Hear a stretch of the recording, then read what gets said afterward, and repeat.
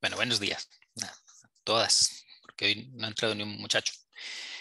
Eh, comienza la parte más divertida, creo yo, de, toda esta sección de la asignatura. Y bueno, mi opinión porque es lo más práctico y quizá la herramienta más útil, creo yo. Claro, no, no en el caso de todas ustedes, porque trabajan en, ya en, el ministerio, creo que todo el mundo, y, hay muchas herramientas para hacer muchas de estas cosas, pero sí, eh, en fin, es una, es una de las herramientas, la que vamos a ver ahora de GIS2, que eventualmente puede ser más útil desde el punto de vista de, de esta materia y de esta maestría, de este curso que ustedes, de este estudio fuerte que ustedes están haciendo para asumir, ojalá, en corto plazo, pues un, un rol Mm, si no técnico de alto nivel, de ya de dirección. Eh, cuando uno está en ese tipo de puestos, por supuesto necesita, eh, y lo hemos hablado hoy infinidad, de veces, ¿verdad? Tomar decisiones con, con datos veraces, ¿verdad? Oportunos. Y eso no es ninguna magia. Eso tiene un esfuerzo detrás increíble. De hecho, ustedes eh, son muy conscientes de ello porque, porque están trabajando en nivel más técnico, más abajo, y les toca interfazar y ver cómo coordinar e introducir datos directamente y todo, ¿verdad? Ahí es donde las herramientas que uno, de las que uno dispone para poder trabajar eh, cambian completamente el panorama, ¿ok? Eh, si tú tienes malas herramientas con pocas validaciones, con pocas, pocos controles, eh, acabas teniendo muchos problemas muchísimos. ¿sí? Y eh, bueno, en ese sentido vale la pena explorar eh, una herramienta como esta para, para que mm, obviamente no, no, podemos hacer un curso, eh, sería muy injusto de cara a ustedes, dedicado exclusivamente a toda la asignatura de GIS2, quedaría de sobra, o sea, porque es enorme, es un, es un sistema grandísimo sino que nos interesa en general que ustedes tengan un panorama muy amplio, ¿verdad? De lo que es eh, salud digital. Eh, pero por lo menos un par, de un par de clases, casi tres semanas, incluyendo el examen, que ya les contaré la semana que viene cómo va, la, cómo va a ser la cosa, eh, para que ustedes practiquen y vean esto, ¿ok? Cómo funciona una herramienta de, de este calibre. y por lo menos sepan usar lo más básico, ¿ok? También es muy importante considerar que, que ustedes deben saber, vamos a ponernos en el mejor caso, que es que ustedes en algún futuro eh, van a asumir ese rol, ese liderazgo a nivel de, gestión de la salud pública, ustedes como, mínimo deben comprender cómo funcionan estas cosas. Eh, y eso es un elemento que a mí particularmente me interesa mucho que, que conozcan sobre todo porque mm, se debe intentar eliminar eh, ese, sesgo que, hay a, altos niveles en cuanto a pedir lo que no se puede dar. ¿Ok? A pretender imposibles. Y yo, eso sí es experiencia propia, no sé cómo es la situación actual, porque no puedo hablar de la situación actual en ese sentido, pues no la conozco, pero a mí me tocó eh, lidiar mucho con ese, con ese quiero y quiero y quiero y quiero y que se haga, que no sé qué. Y muchas personas mm, con muy poca honestidad diciendo, sí, sí, sí, cómo no, señora ministra, sí, sí, lo vamos a hacer.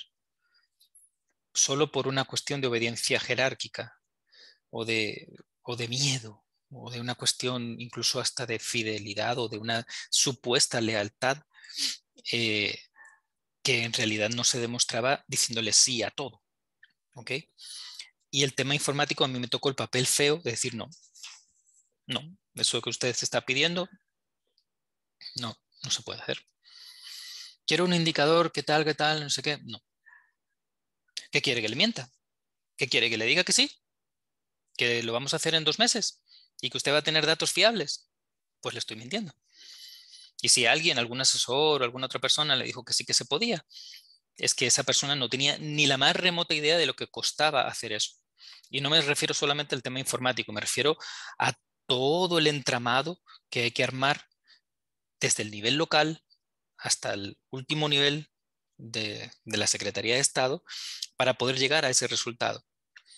Desde la captura de información, la supervisión, etcétera, el procesamiento, el análisis, todo eso hasta llegar. Entonces, eh, que ustedes conozcan cómo funcionan esas tripas es crítico para poder saber qué puedo pedir y, que no, no me ciegue eh, pues esos ímpetus que suelen, eh, que suelen surgir el más alto nivel, en la cúspide, ¿verdad? Eh, a la hora de querer, de pedir mucho y de tener ahí una cohorte de personas que lamentablemente pues no son muy honestas, son muy sinceras, no, no dicen las cosas como son. Y luego al final acaba, acaba teniendo una serie de consecuencias muy graves de cara a la ciudadanía, ¿no? Ni siquiera es a la imagen pública de la persona que toma esa decisión. ¿Verdad? De que de repente esos datos con los que se están tomando decisiones no son los correctos, no son, no son completos, no son representativos, etcétera, etcétera. Y es simplemente por no, porque esa persona que está ahí en ese nivel no fue capaz o no tiene la, la mini, el mínimo conocimiento como para saber cuánto cuesta hacer las cosas y qué es lo que se puede pedir. Bueno, pues de eso va la clase de hoy y lo que nos queda en estas últimas, en estas próximas dos semanas. Como siempre, si tienes algún comentario o alguna cosa, pues abrir el micrófono y, platicamos, ¿verdad? De hecho, hoy vamos a hacer muchas cosas prácticas con el sistema. Mm, en el momento en el que yo haga algo que no se entera uno o que uno se pierde, me avisa, aunque el video siempre va a quedar grabado y todo, pero bueno. Muy bien. Formalmente, hoy vamos, vamos a hacer una pequeña introducción formalista, ¿verdad? Eh, hablamos del ciclo de información en salud, ¿ok? Eh, necesitamos trabajar con datos que son específicos. Eh, si, lo vemos desde un punto de vista empresarial, pues hay otro ciclo de información empresarial. Si lo vemos desde el punto de vista social, pues también eh, a nivel de organización no gubernamental también tienen otro ciclo de información. Pero nuestro brete, nuestro trabajo es la salud, la salud pública en particular. Y eso tiene un ciclo con una serie de fases, con tres fases bien definidas, que es importante que ustedes manejen con toda precisión y sobre todo que le pongan coco, reflexionen cada una de las características que eh, se desagrega de cada una de estas etapas, porque hay que reflexionarla, hay que, hay que sentarse de verdad, literalmente, pasar el tiempo que haga falta y formalizarlas. Eso también es algo muy importante cuando les toque ese, estar en esa situación, que no se dejen llevar por la improvisación, eh, el peor enemigo, y eso se lo digo también con mucho cariño, no, no, no hay peor enemigo de la salud pública que las pretensiones mediáticas, políticas, electorales, porque se toman una serie de decisiones tan, tan absurdas, que tienen un impacto tan grande en la población. Y yo no estoy hablando de la gestión actual que tiene lo suyo, estoy hablando de las que yo conocí. ¿Ok? En ese sentido, eh, vale la pena que ustedes pues, eh, pongan los tacos por delante y digan, no, no, no, ustedes quieren hacer un programa de esto porque es muy importante para el tema tal, perfecto, vamos a pensarlo como debe ser. Y eso implica esto, esto, esto. La primera etapa de este ciclo es obtener y procesar los datos es probablemente la más complicada, la más difícil, la más tediosa, em, porque involucra gente. De alguna manera, esto no te lo va a resolver un sistema informático. Te lo va a facilitar, pero no te lo va a resolver. ¿Ok? Es necesario que pensemos cómo vamos a estructurar los datos. Hay que hacer muchas pruebas. Eh, hicimos hace un par de semanas eh, un poco ese mismo análisis con respecto al uso de sistemas de encuestas, ¿sí? En el que pensábamos con calma, ¿verdad? ¿Cuál va a ser nuestro formulario? ¿Qué es lo que queremos obtener? ¿Cómo lo vamos a procesar? Al final, ¿qué gráficas quiero ver para poder tomar esa decisión? Pues es exactamente igual, pero con, todavía con mucho más precisión, con más cariño, con, más esfuerzo, ¿ok?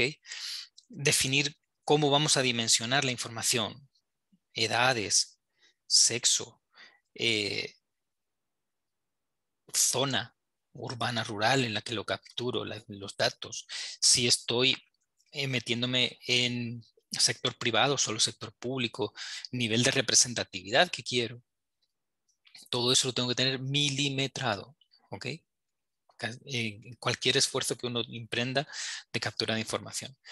¿Cuáles van a ser las fuentes de datos? ¿Quién los va a recuperar? Eso es lo mismo que con las encuestas o sea, pongámosle nombre y apellidos, pues, de hecho, o sea, no solamente vale, sí, que lo captura en los establecimientos, el nivel local, el nivel local, el nivel local, el nivel local, el nivel local se aguanta con todo el nivel local. Eso lo, lo, viví yo también de una manera muy despiadada. Y al final el nivel local no sabe ni por dónde empezar. Y encima dando consulta. Pero bueno, ustedes que, sobre todo quienes trabajan en los establecimientos, saben de, de qué hablo, ¿verdad? Entonces, establecer muy bien esas fuentes de datos, diagnosticar en qué estado están, si ya están, si, si hay que reemplazar, hay que eliminar eh, algunas otras iniciativas de captura que eventualmente ya quedaron obsoletas o que pueden no ser tan útiles como la que voy a emprender. Todo eso obviamente genera una animadversión importante, ¿verdad?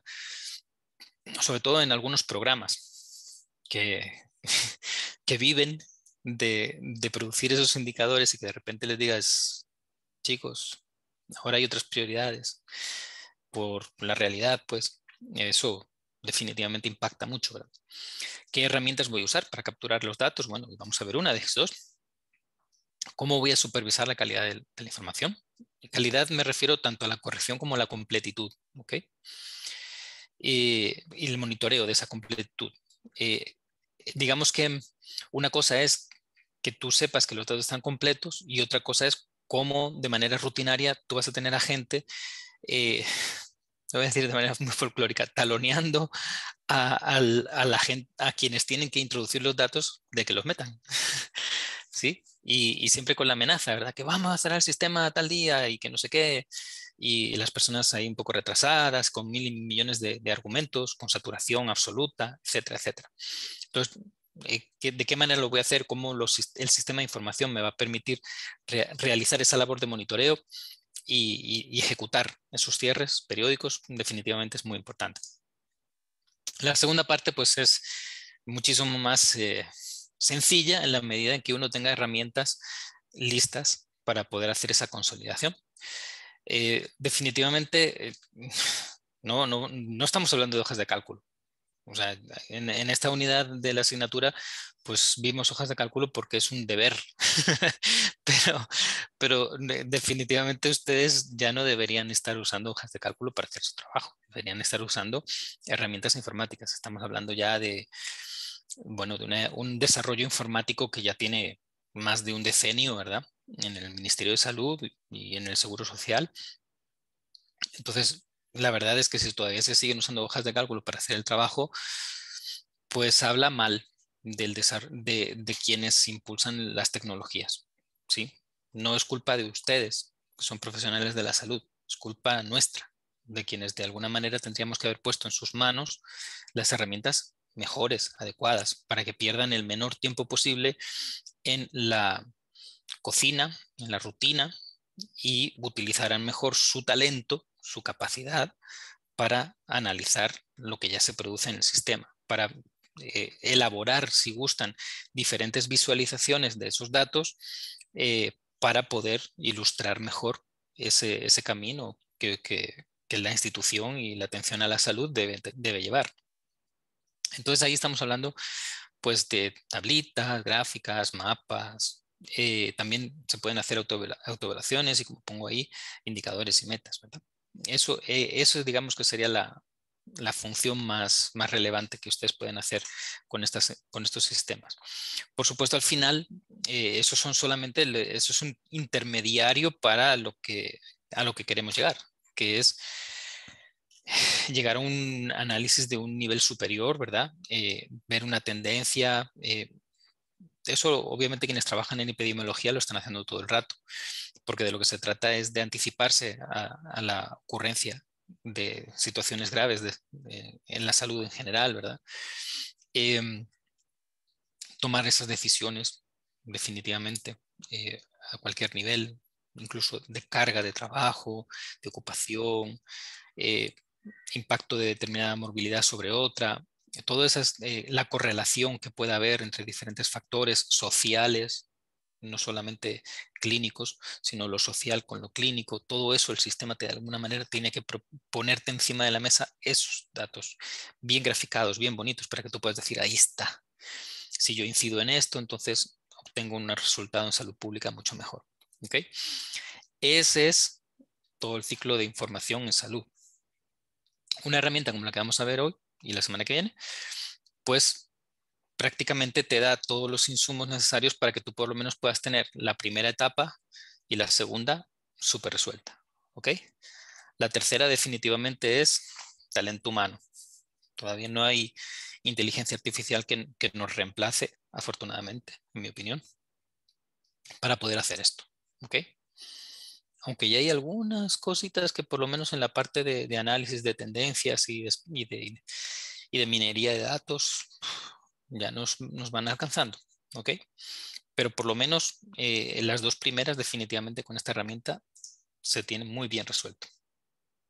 Ahora veamos. Eh, cuando yo trabajo con información en salud, generalmente tengo tres componentes ineludibles. ¿Ok? Siempre. Primero, qué datos son los que estoy obteniendo y cómo los voy a medir o cómo los voy a eh, combinar para presentar alguna información más adelante.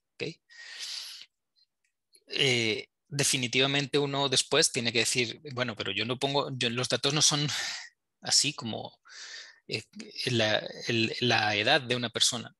No, no, no. Esa persona dónde vive, dónde fue atendida, es, ese tipo de características son fundamentales en nuestro ámbito. Y, es un ámbito muy, muy específico. En otros ámbitos, tipo empresarial o, y demás, esto no, ni, ni por cerca, pero nosotros en el sector salud trabajamos de manera jerárquica necesariamente y nos funciona muy bien. ¿Ok?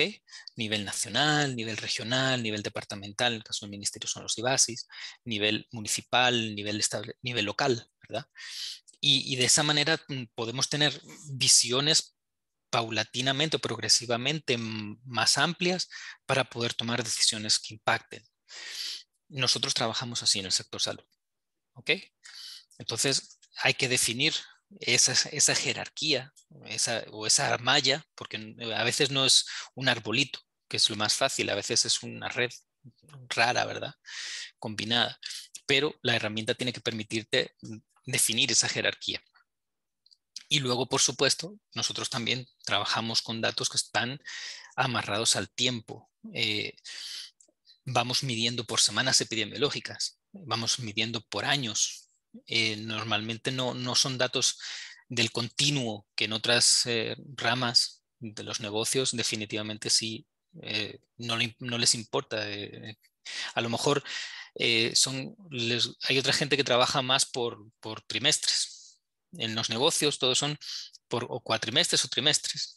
¿ok? Entonces depende de los resultados financieros del trimestre, no sé cuántos, del primer, primer cuarter, segundo cuarter, así. Ese ellos trabajan así, nosotros no. Nosotros generalmente trabajamos por semanas o por, meses o por años. ¿ok? Entonces hay que definir los periodos en los cuales uno va a capturar esos datos o en dónde se enmarcan en, el tiempo esos datos. Entonces ahí pongo un ejemplo. Yo quiero la tasa de mortalidad infantil en la región paracentral del año 2020. Entonces ahí estoy definiendo qué quiero, en qué unidad eh, jerárquica o en, qué, a qué nivel de la unidad de la, de la, jerarquía organizacional lo estoy requiriendo y en qué periodo lo necesito. Es algo súper común verlo de esa manera. ¿verdad? Y ahora vamos a ver algunas características particulares de la herramienta que vamos a usar. Que no es que sea la panacea, ¿ok? Tampoco es que digas tú, ah, estos, la maravilla del mundo. Es muy buena, buenísima. Eh, a mí me preguntaban, el doctor Sorto creo que fue, me preguntaba, mira, ¿y por qué no estábamos usando el GIS-2 si es una maravilla si tiene tal cosa? Puchica, porque el SUMEB en el ministerio ya tenía un montón de años y tiene todo lo que tiene de GIS-2, el SUMEB combinado con el TAP, con todas las deficiencias, ahí estábamos hablando antes que entraran en la mayoría con Fátima, de cómo eventualmente parece que han dejado morir el ETAP en el ministerio, tecnológicamente hablando, ¿ok? Pero entre con esa combinación, híjole, teníamos todo lo que hace de GIS2 y mucho más, porque además era hecho ad hoc específico. Entonces me dicen, hombre, pues si estamos en el 2021 y no tengo absolutamente ninguna herramienta informática y tengo que tener un control de todo el programa de VIH, es que ni me lo pensaría ni dos minutos. De GIS2, si tiene hasta un paquete hecho a, medida para VIH. Lindo. Igual que tiene otro para COVID y un montón de cosas. Es una, es una maravilla. Pero depende mucho del momento en el que se implementan los sistemas, que uno tiene que valorar si vale la pena seguir mejorando lo que hay o si tienes que eh, reemplazar una cosa por otra. Lo que no puedes dejar es eh, vacía la funcionalidad. Eso también lo hablaba con Fátima antes ustedes necesitan una herramienta para trabajar. Eh, si se llama Pepe como si se llama Juan. Los por qué se usan unas u otras es todo un tema de análisis, de crítica, de gustos, etcétera, que, eventualmente puede haber. Pero ustedes son profesionales de la salud, eh, ustedes o incluso de tomadores de decisiones de salud pública, lo que necesitan son herramientas en sus manos, las mejores posibles, porque tampoco es que haya mucho dinero para estas cosas. Entonces, hay que tomar una decisión de qué usar. DGIS2 es una buena herramienta en el caso de que no, no haya otra cosa implementada desde, desde antes, ¿verdad? Tiene la ventaja de que es muy flexible. Eh, tiene muchos módulos. Nosotros hoy solamente vamos a ver apenas dos de un menú enorme, pero tú puedes hacer con él lo que quieras, básicamente. Y se puede adaptar de manera bastante rápida a, cualquier eh, forma de trabajo. Y eso lo demuestra, eso no es porque lo diga yo. La realidad es que DGIS 2 eh, se ha convertido prácticamente en un estándar de facto en muchos, en muchos lugares. Y no importa, desde Asia, África, América Latina, digamos que en nuestra región lo usa sobre todo Panamá para temas de malaria, en Honduras también se, ha usado bastante. VIH eh, en Guate, uso de, o usa de GIS2 con algunos conflictillos ahí con la gente de informática del Ministerio de Salud, pero lo usan. Em, y en El Salvador sé que una de las ONGs, no me acuerdo cuál, que trabaja con el tema de VIH también lo usa.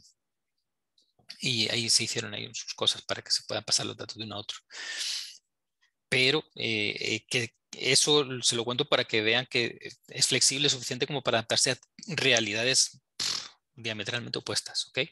Entonces, en ese sentido es una herramienta que con un poquito de trabajo se adapta muy bien. Vamos a ver, de hecho, ahora eh, cómo se pueden definir todos los elementos de datos, cómo se pueden agrupar esos elementos de datos en conjuntos de datos o datasets, cómo se genera esa jerarquía de establecimientos, eh, los niveles diferentes, ¿verdad? En, los que uno puede trabajar para asociar la información a esos niveles jerárquicos. Recuerden que nosotros al final lo que queremos como, como salubristas, ¿verdad?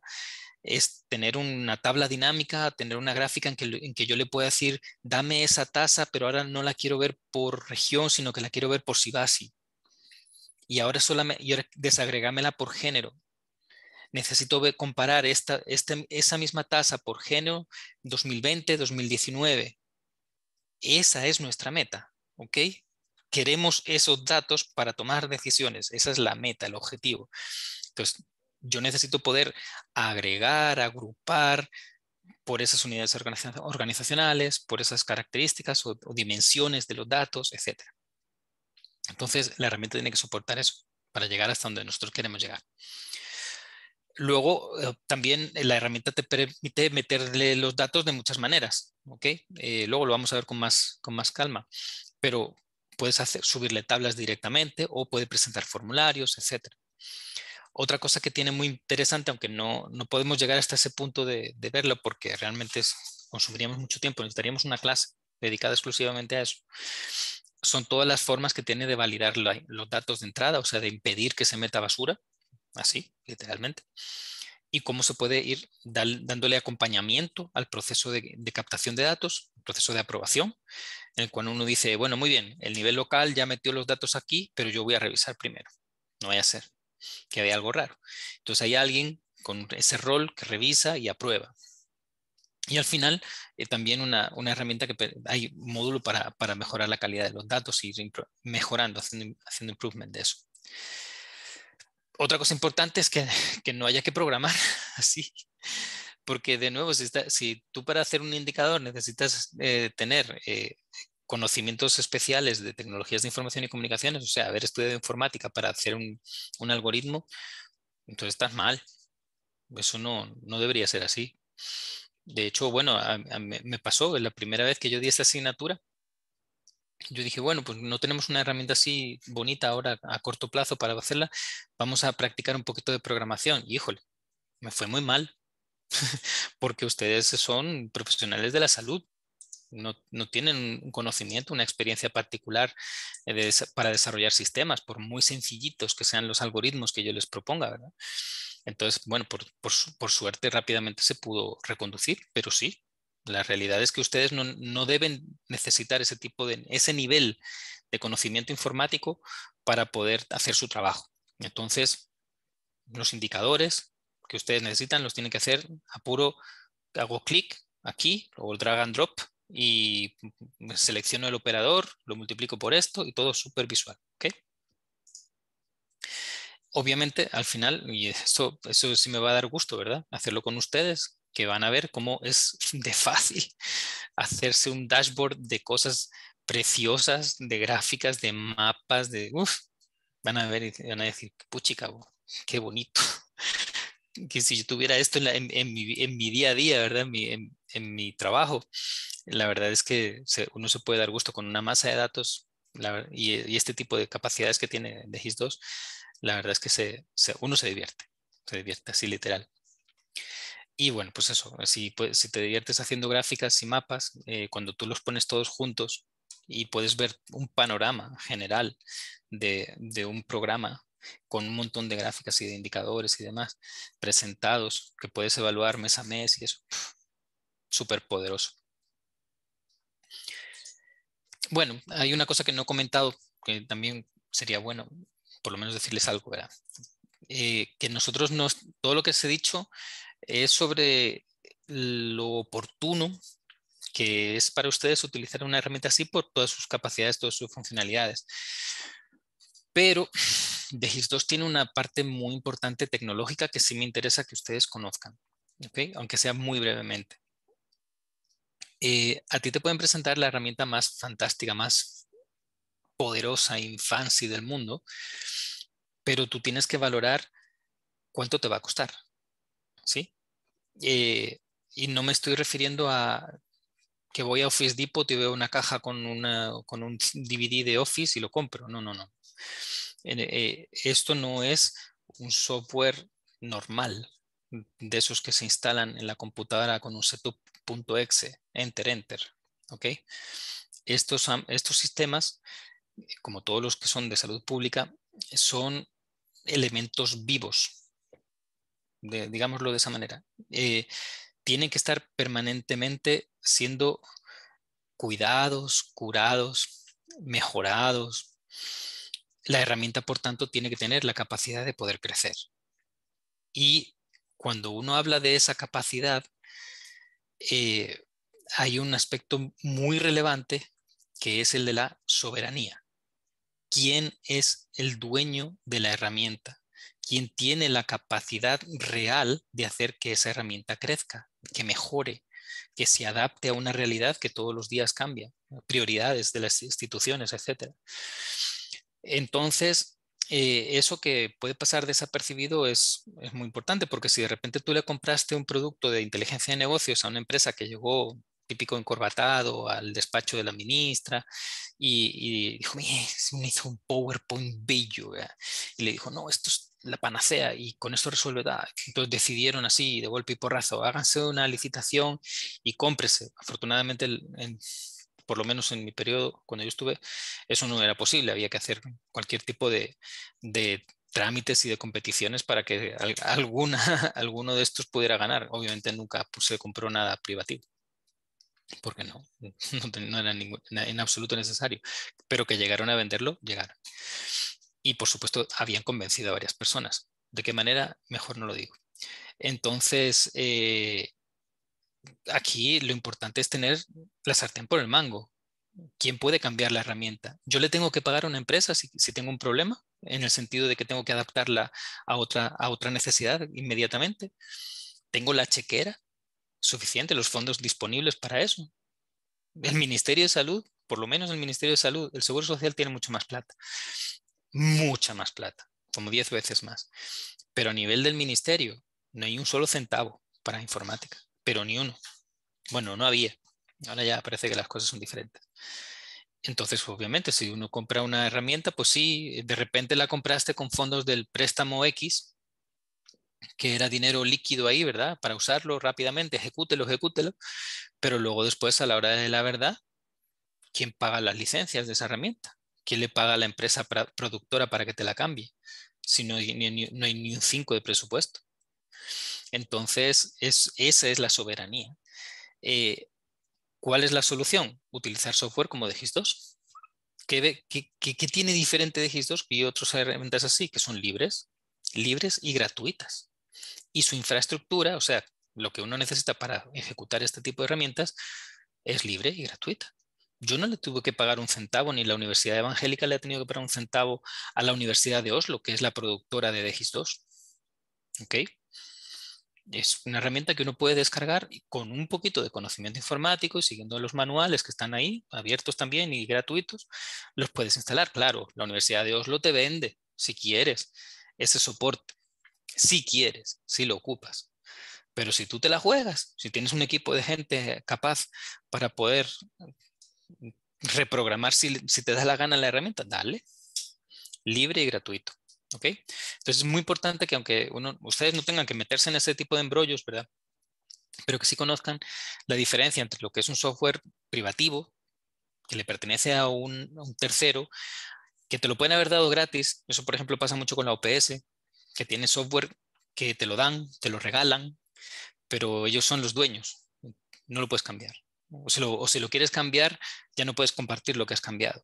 O sea, tienen una serie de, cláusulas en su licencia que dificultan esa posibilidad. O en un caso de las empresas privadas que definitivamente lo que quieren es sacarte dinero, definitivamente. Entonces, el, hecho de usar software libre y gratuito definitivamente tiene una serie de ventajas muy importantes en el sentido de la soberanía. Muy bien. ¿Cómo funciona? Eh, acuérdense de la semana pasada que estuvimos viendo una herramienta de inteligencia de negocios propia del ministerio que sea llama pues esto es exactamente lo mismo o muy parecido. Aquí, pues tenemos las, las entradas, ¿verdad? De, en este caso, formularios. Obviamente a evitar, ¿verdad? En la, medida de lo posible, porque no deja de ser eh, complicado que las personas sean perfectas en la entrada de datos cuando las digitan, ¿verdad? Eh, pero tú puedes tener formularios en el 10.2, de hecho lo vamos a ver, para poder capturar los datos. Esos datos también pueden venir de la aplicación, porque DGIS tiene una aplicación móvil bien chiva, o pueden ser extraídos e incorporados. Eh, DGIS tiene APIs para poder hacer esto. Y aquí está eh, ese acrónimo que yo les expliqué la semana pasada, que se llama ETL, extraer, transformación y carga, ¿verdad? De sistemas de gestión hospitalario, médicos, eh, el MIS, que son los de laboratorio, Así que de ahí puedo sacar un montón de datos y meterlos directamente a DGIS2. ¿Qué es DGIS2 en su parte interna? Un data warehouse, o sea, un almacén de datos agregados. Aunque eh, le, hicieron, le han hecho una serie de mejoras también para poder guardar datos a, nivel personal. Se llama tracker porque mucha gente quería, decía, ah, sí, DGIS2 es muy bonito, no sé qué, pero yo cuando, cuando tengo que atender al, paciente no tengo nada y, y, que, ¿cómo, puedo, ¿cómo puedo hacer? Ah, bueno, pues con DGIS2 se puede eh, hacer de determinada manera para que tú puedas tener también una pequeña herramienta de seguimiento de casos individuales y que esos, esos datos que capturas como caso individual se agreguen y vayan a formar parte finalmente al data warehouse, ¿ok? Pero nosotros hoy no vamos a hacer eso. Lo que vamos a hacer es partir de que tenemos datos agregados. Al final de ese data warehouse, pues tenemos el portal web para descargar los datos o ver las tablas. Por supuesto, los, dashboards, que ya verán la semana que viene que chivos. Eh, hacer gráficos y mapas y verlo eso con la aplicación móvil también. ¿Ok?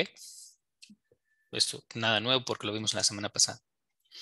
Y ahora vamos a pasar un poco a la acción.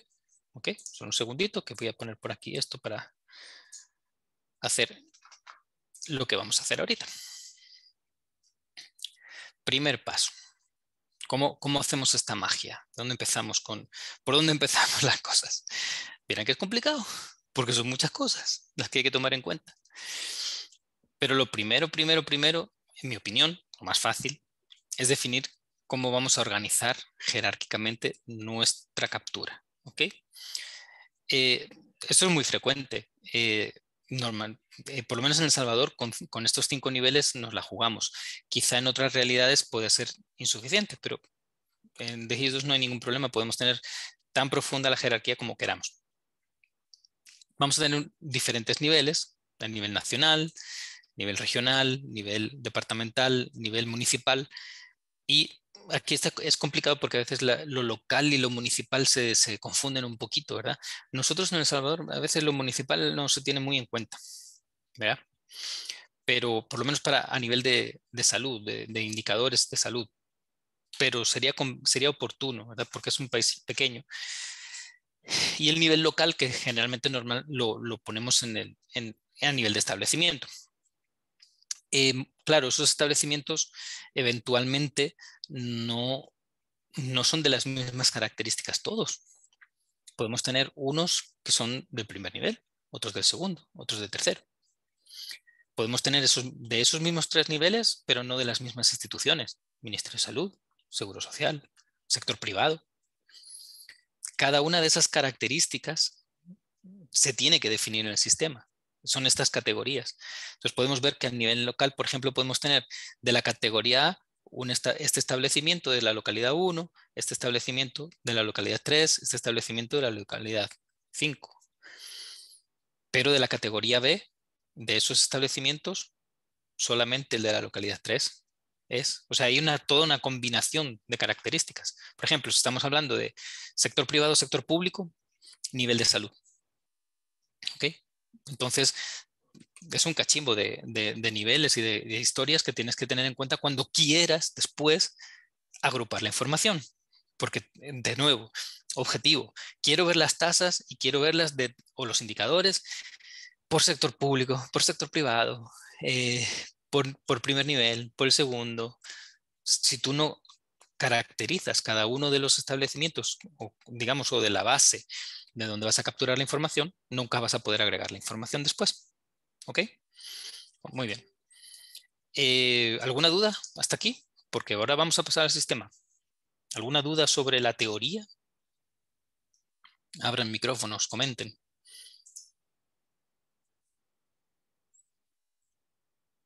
¿Todo bien? Lelian, adelante, adelante. Estas, estas categorías deben definirse cuando se está implementando el sistema, supongo, ¿verdad? Cuando el cliente le dice al informático qué es lo que necesita hacer y cómo necesita eh, derivar la información. Es una pregunta excelente. ¿Cuándo se hace eso? la verdad, debería hacerse antes de, antes de cualquier cosa, ¿sí? Antes de poner un solo dato en el sistema.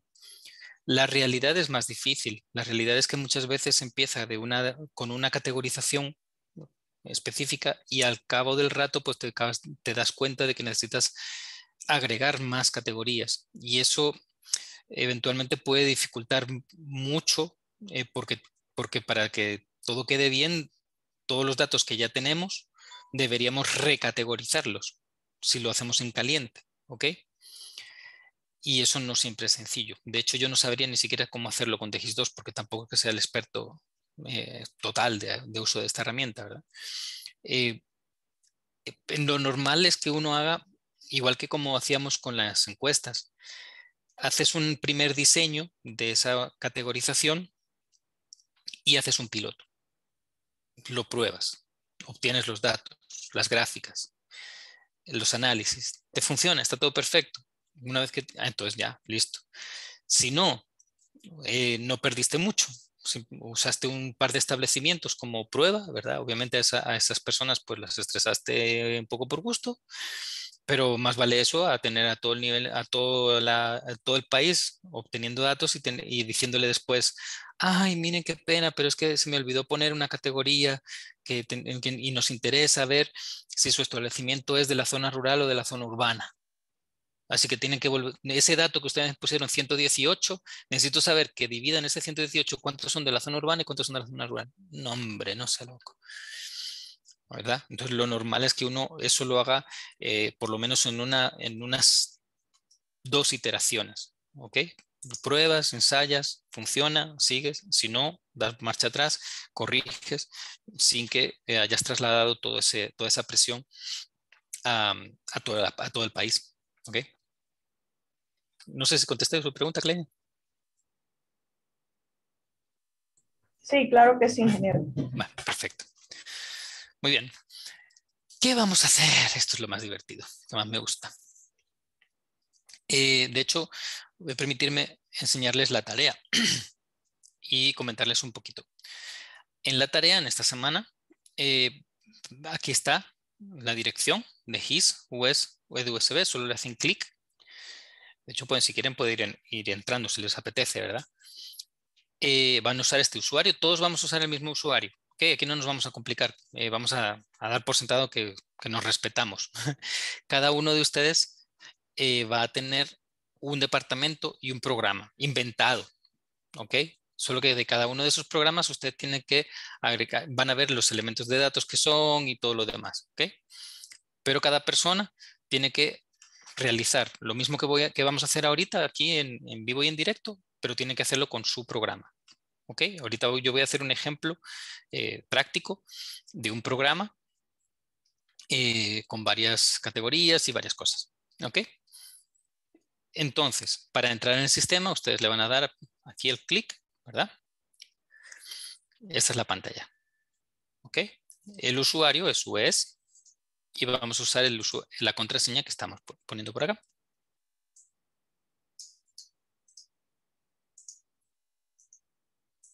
Y entramos. Aquí lo tenía abierto ya, pero mejor cierro por si se me cerró la sesión. En este momento el sistema está limpito, limpito, limpito, no tiene nadita. ¿Ok? Vacío. ¿Qué es lo que vamos a usar nosotros? Solamente dos opciones de todo el menú. El menú es estas nueve chibolitas que están aquí arriba a la, derecha. ¿okay? Aquí está todo lo que uno puede hacer con DX2, que es una barbaridad. ¿okay?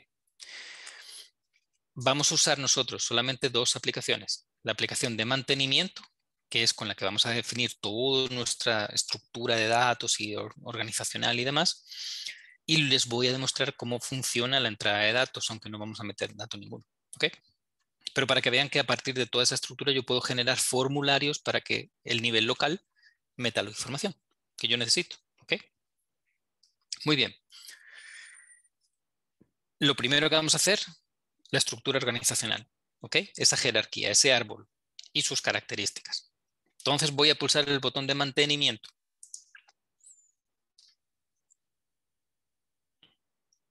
Se va a cargar la pantallita, ojalá que no tarde mucho. Y aquí tenemos muchas opciones. Lo podemos ver aquí a nivel de, digamos, de tarjetita o también por menús, como mejor gusten. ¿ok? Lo que vamos a hacer primero es lo de la unidad, las unidades organizativas. ¿ok? Vamos a definir todos nuestros niveles locales y cómo se van a ir agregando para hacer un, árbol, en este caso un árbol jerárquico. Entonces yo le voy a pulsar en la unidad organizativa. Pueden ver que en las tarjetitas, bueno, ahí van a disculpar, pero lamentablemente no está todo muy bien traducido. Eso es una de las cosas que a mí más me extrañan de DGIS2. O sea, chispas, con lo bueno que es, y no tengan una traducción en español decente, pero o sea, obviamente si yo lo fuera a implementar me pondría a traducirlo, implementar de verdad. En este caso, lo que podemos ver aquí son las unidades organizativas que ya hay, que yo las creé, porque cuando empezamos empieza limpio, limpio, no hay nada, ¿ok? Nada. Si yo lo puedo ver, puedo ver el listadito o puedo agregar directamente una nueva. Vamos a ver el listado, a ver qué es lo que tenemos por el momento. Tenemos un una unidad organizacional primaria que es El Salvador, es nuestro nivel máximo. Y luego necesito que ustedes se fijen aquí en la parte izquierda de la pantalla, pueden ver que hay un segundo nivel de la jerarquía en el que tenemos cuatro regiones. Me falta una a propósito, ¿ok? Porque la voy a agregar con ustedes. Yo puedo elegir en qué nivel quiero estar trabajando. Si pulso en el esquema que sale en la parte izquierda. Yo la región la quiero crear a nivel del Salvador. Es una, es, está dentro del nivel del Salvador. Entonces voy a seleccionar El Salvador para agregar la región, región occidental. ¿Ok? Si me equivoco, no hay ningún problema, yo lo puedo reubicar las cosas. Y ahora les voy a demostrar cómo se hace. Pero obviamente tardo menos tiempo si lo hago bien de una vez, ¿verdad? Vamos a crear la región occidental. Región occidental. Y normalmente se le pone un nombre corto para que eso se vea mejor luego en las tablitas y eso. Es muy importante que le pongan una fecha, bueno, es obligatorio, ven que tiene un asterisquito, la fecha de apertura. Eh, de GIS2 controla que uno no pueda meterle información a una unidad, una unidad organizativa si la fecha de apertura es posterior a, a ese momento en el que estamos metiendo los datos. Entonces, yo les recomiendo que cuando hagan la tarea, pues no se complican, aunque no van a meter datos, ¿verdad? Pero pues, por si se acuerdan en el futuro que lo usen, yo le voy a poner el 1 de enero. ¿Ok? Esa, la región occidental tiene vida desde entonces. Hay un montón más de información ahí que yo le puedo poner para tener mucho más completo todos los datos. ¿Ok? Le voy a dar a guardar. Ya tengo la región occidental. Él los ordena automáticamente por orden alfabético. ¿Ok? Muy bien. Lo siguiente es, bueno, muy bien, ya tengo el nivel 1, nacional, nivel 2, regional, Vamos al nivel 3. ¿Ok? ¿Qué necesito como nivel 3? Departamentos.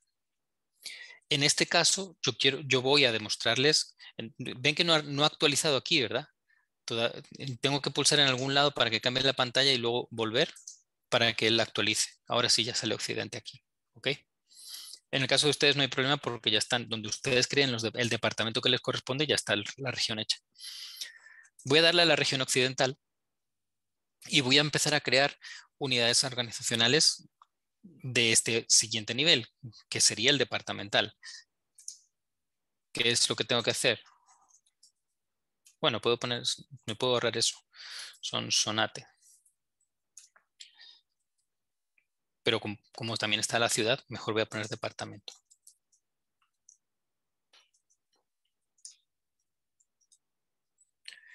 Igual, la misma historia, fecha de apertura. No tiene mucho sentido la fecha de apertura de un departamento, pero siempre le voy a poner uno. Y lo guardo. Ok, aunque aquí no se vea, ya tenemos el departamento de Sonsonate dentro de la región occidental. Siguiente nivel, ya tendría que empezar a crear municipios. Ok, vamos a poner, vamos a poner, pulsar por acá para que me refresque nada más. Y ven, ya se creó. ¿Sí? Digamos que me voy a equivocar y voy a crear los municipios aquí mismo. ¿Sí? Lo voy a hacer a, propósito mal. Voy a crear tres municipios. Por ejemplo, Izalco. Le puedo poner un código, como pueden ver, ¿verdad?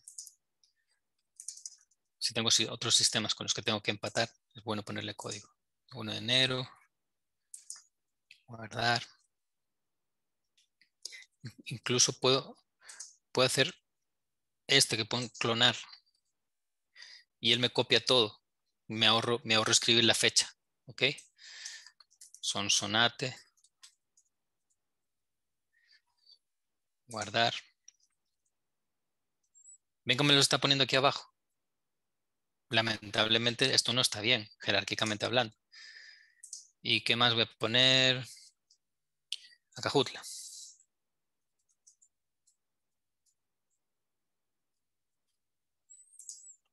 Hoy si no clone, solo le dije.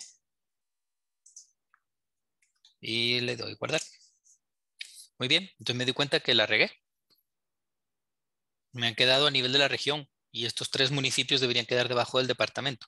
¿Cómo lo arreglo? Miren qué fácil. Ven que aquí hay una opción que pone operaciones de jerarquía. ¿Ok? Operaciones de jerarquía, la última opción en el menú que está en la parte izquierda. Le voy a dar. Entonces, ¿qué puedo hacer? Digo, no, mira, quiero mover a Cajutla, Izalco y Sonsonate. ¿A qué padre? ¿De quién quiero que dependan? Quiero que dependan del departamento de Sonsonate. ¿Vieron cómo hice? Seleccioné los elementos que quiero reordenar, que quiero mover de, estructura jerárquica y en la parte, eso es en la parte izquierda y en la parte derecha seleccioné quién va a ser su antecesor o su padre desde el punto de vista jerárquico. Mover. Listo. Ya están ordenados correctamente. ¿Sí? ¿Alguna duda con eso? ¿Todo bien? Está fácil, ¿verdad? Todo bien. Esto es facilísimo. Muy bien, me faltan más unidades organizativas. Todavía no hemos llegado al nivel local. Necesitamos meter los establecimientos. ¿Ok? Ahora lo voy a hacer directo para no equivocarme. ¿Ok? Voy a abrir el departamento Sonate y voy a agregar pues unos tres establecimientos de Acajutla. Entonces selecciona Acajutla en el menú, en, el esquema izquierdo y empiezo a darle más. Ok, eh, yo me lo estaba apuntando para no tener que escribir mucho y perder menos tiempo.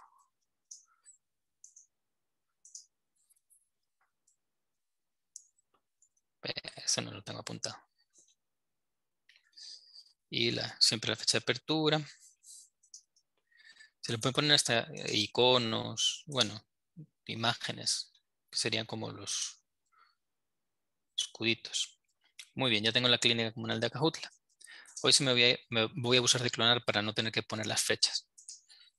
Ahora voy a poner la, la unidad comunitaria de salud familiar.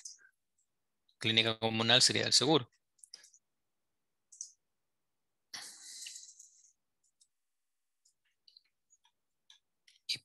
para adentro.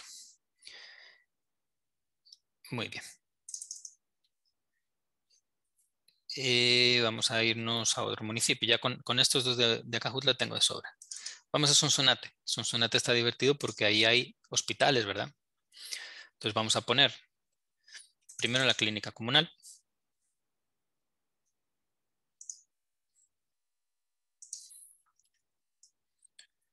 Y la fecha de apertura.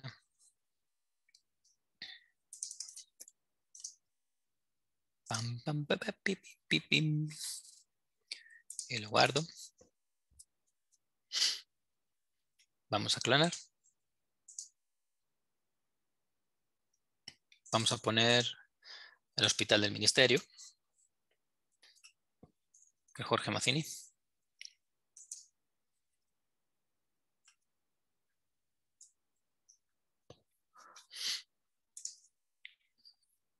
También tenemos el hospital regional del seguro. No. El del seguro.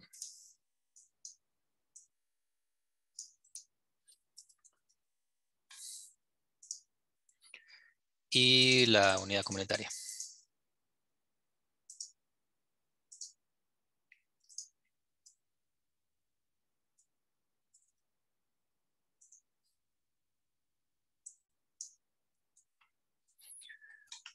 Lo guardo. Ahora vamos a crear los de. Me voy a Izalco en el, en el menú izquierdo y voy a crear unos cuantos. Por ejemplo, vamos a crear la unidad comunitaria.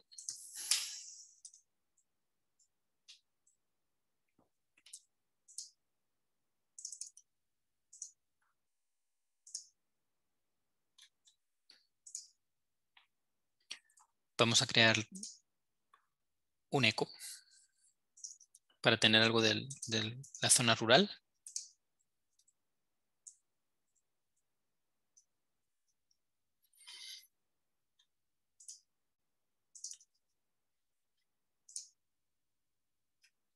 Guardamos.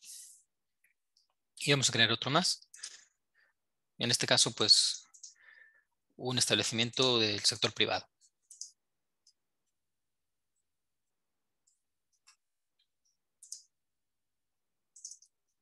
Eso solo para divertirnos ahora con las categorías. Listo.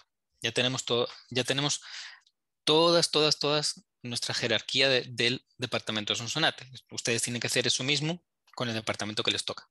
¿Ok? ¿Alguna duda con eso?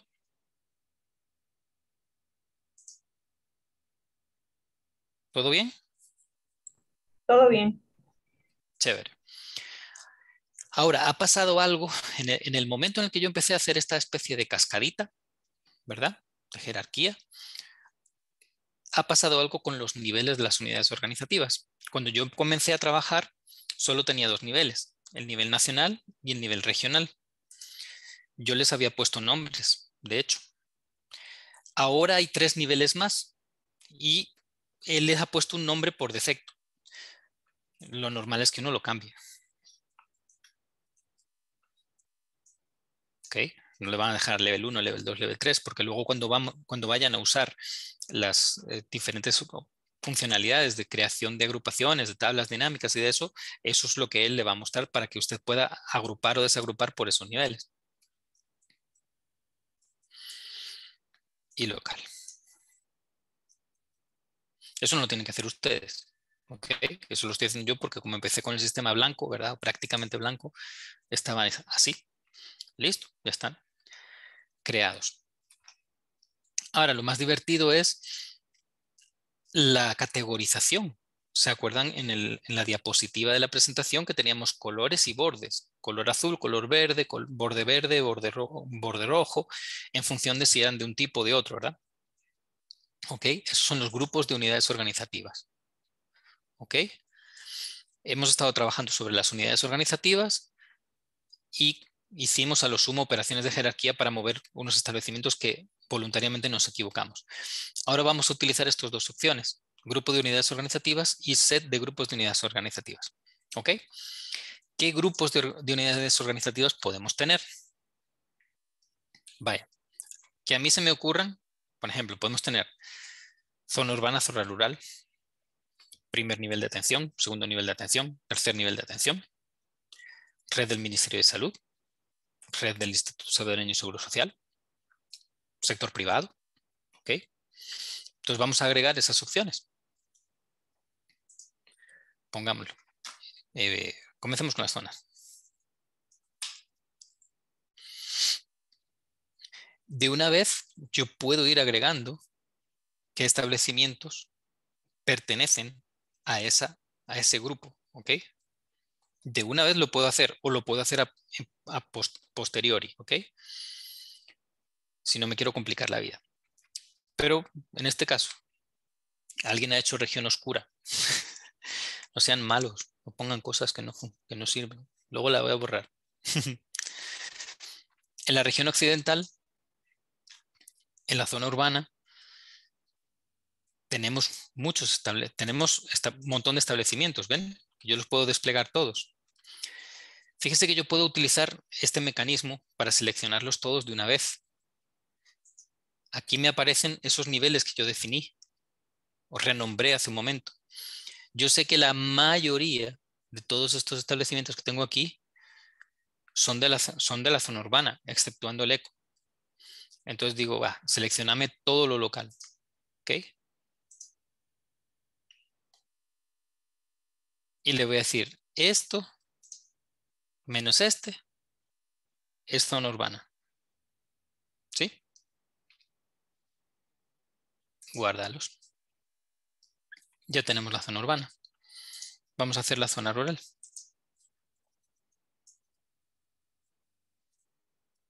Ya ustedes no van a tener que hacer esto, porque ya van a estar definidas las categorías. Solo tienen que asignarlas, ¿ok? En este caso yo me acuerdo que es el eco la única que tendría que estar en la zona rural Listo. Hagamos más. Em, primer nivel de atención.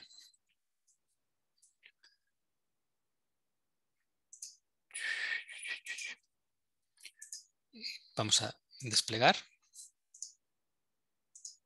Y tenemos que seleccionar correctamente. Esto lo podemos cambiar después, obviamente, ¿verdad? En el primer nivel de atención, pues están estos. Este también, el, del sector privado es de primer nivel. Aquí los únicos que no van a entrar son los hospitales. Ok. Vamos al segundo nivel.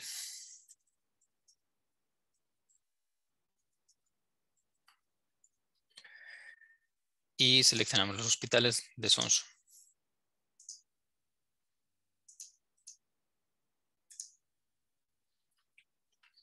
De una vez voy a agregar el tercer nivel de atención. Aquí no tengo tercer nivel de atención, pero quienes, tengan el departamento de San Salvador, eh, en Santa Ana, si consideran el hospital regional de, tercer nivel por su especialización, pues lo pueden poner ahí en tercer nivel también, Santa Ana, San Miguel. Entonces voy a poner tercer nivel de atención. Aunque en este caso no voy a asignar ningún establecimiento porque por el momento no tengo ninguno. ¿Qué me falta más? Em,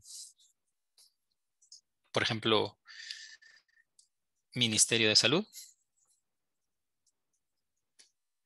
y vamos a seleccionar todos los que les corresponden al, ministerio.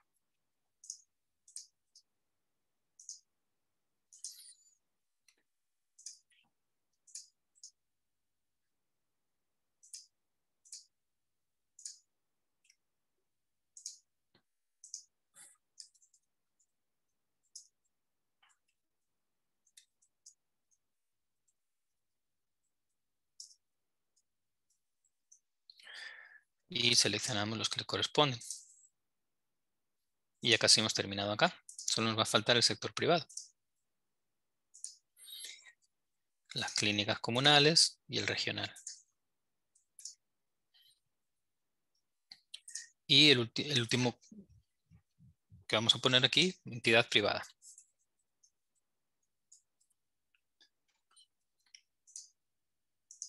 Puede ser una ONG o lo que sea, pero es una entidad privada al final de cuentas. Listo. Ya tenemos todas nuestras categorías puestas y asociados nuestros establecimientos a esas categorías. ¿Sí? ¿Cómo lo vieron? ¿Alguna duda con eso? bien práctico. Vaya. Como ya están creadas las categorías, ustedes no las van a tener que crear. Cuando agreguen sus unidades organizativas, sus unidades de salud, sus hospitales y demás, van a tener que entrar al grupo de unidades organizativas, seleccionar Ministerio de Salud, por ejemplo, y buscar acá, donde está la jerarquía de establecimientos, cuáles son los que tienen que, asignar. ¿Ok? No tienen que crear la unidad, solamente agregarle a la unidad, al grupo que ya existe le tienen que agregar sus establecimientos. ¿De acuerdo? Ok, una, una duda. Adelante. Eh, estaba viendo el listado para el ejemplo práctico, mi persona, eh, departamento Huachapán. Tendría que ser región de salud occidental. Correcto. Eh, busco el departamento Huachapán y entonces en el nivel de en el nivel del departamento agrego el programa. ¿O cómo sería? No, no, no, el programa todavía no. Suave, suave, suave, papá por ahorita solamente estamos haciendo la estructura organizacional. Ahora, después, en un momentito, vamos a ver la parte de, las, de los del programa, ¿ok? Pero suave, porque vamos, vamos por pasos. Lo, lo, que me falta nada más, hemos creado las unidades organizacionales, los establecimientos y los diferentes departamentos y demás. Hemos agrupado esas, unidades en diferentes categorías, ¿ok? Y ahora podemos hacer conjuntos de grupos de unidades organizativas. ¿Qué es un conjunto de grupos? Por ejemplo, caracterización de zona.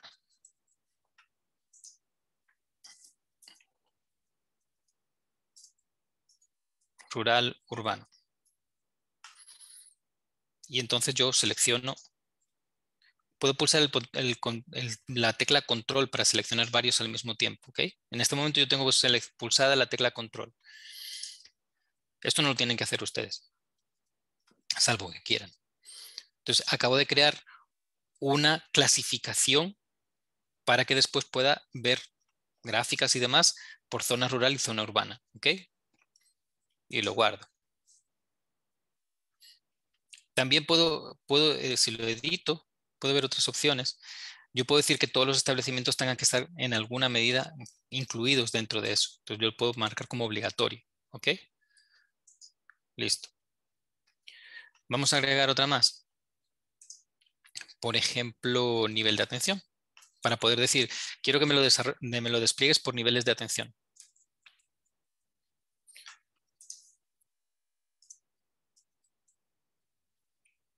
Entonces tengo el primer, segundo y tercer nivel. Los agrego y los guardo.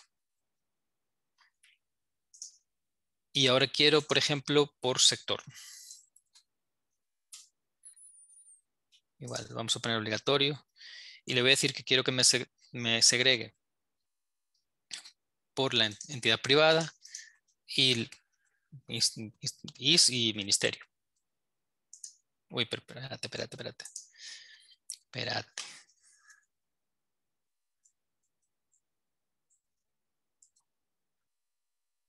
Vamos a ponerlo bonito.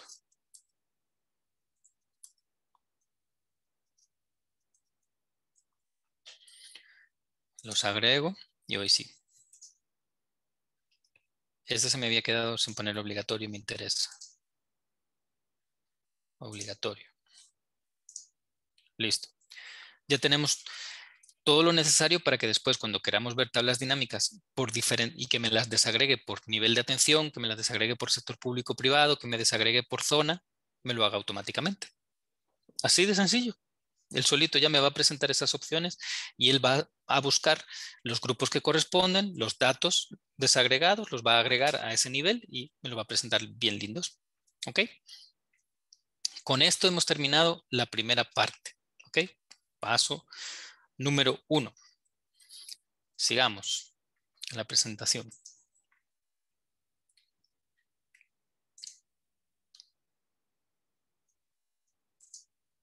Eso ya lo, lo logramos. Paso número dos. Y aquí viene lo que tú me estabas preguntando. ¿Qué es lo que voy a obtener?